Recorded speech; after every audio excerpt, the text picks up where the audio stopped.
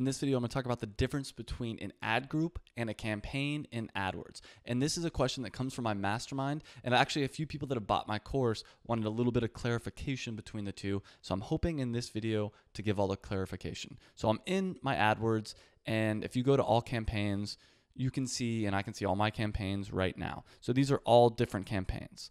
So just to let you know, uh, the quick version is campaigns are on the top. Within one campaign, there could be multiple ad groups.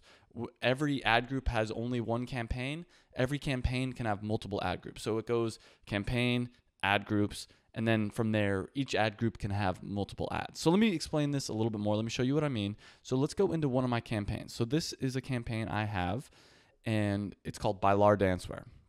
Within that, I have one ad group and it's by Lar Dancer. That used to be our old name, so we still bid on that just to just in case people are searching for it. Within there, I've got a few different keywords. I can show you these because it's nothing special. Probably should hide some of the other stuff I have going on here. And we have multiple ads here. So within this one campaign, we have one ad word. For this example, let me see if I can find another one that I'm willing to share. I'll just go. I'll just go with bike tards. Uh, bike tard colors. All right, so that's a good example. Bike tard colors. Under bike tards colors, I have 13 different ad groups. And so the one campaign, bike tard colors, has uh, these 13 different ad groups. And then what you can do on the campaign level, you can set a bunch of different things. You can set what locations you want to show it to. And that will mean, like, so if I were to say, I just want to show this to people in California, all these different ad groups underneath the category of campaign would only show to people in California. You can change all these different, you can change the devices, you can change the mobile bid adjustment. You can't do that on the ad group level. What you can do, so let's look at the ad group. Uh, okay, yeah, settings now. But I, I have two different ads. So these two different ads are under the uh, Aqua Bike Tards ad group, and I set my keywords under the ad group. So that's kind of the difference.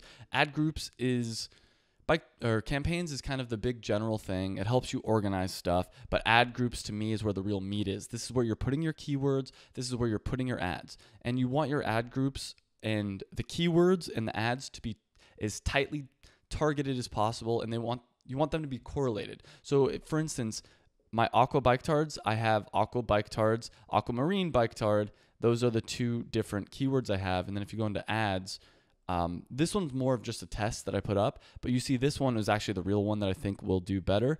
And it says Aqua Bike Tards, 30% off. So that is like what I'm talking about here when I say it needs to be really tightly correlated. So I have Bike Tards as my main campaign. Under there is the ad group of Aqua Bike Tards. And then from there, I have two different ads, Aqua Bike Tards. Uh, and you see I have the keyword, right? I have the keyword Aqua Bike Tards is what I'm bidding on and Aqua Bike Tards 30% off is right in my ad. So that is a brief overview. If this still, if you still have any questions, if something doesn't make sense, please leave a question in the comments below. I do one of these Q&A every week, so if you have any questions about e-commerce, once again, please leave it in the comments below and I would be happy to help you out.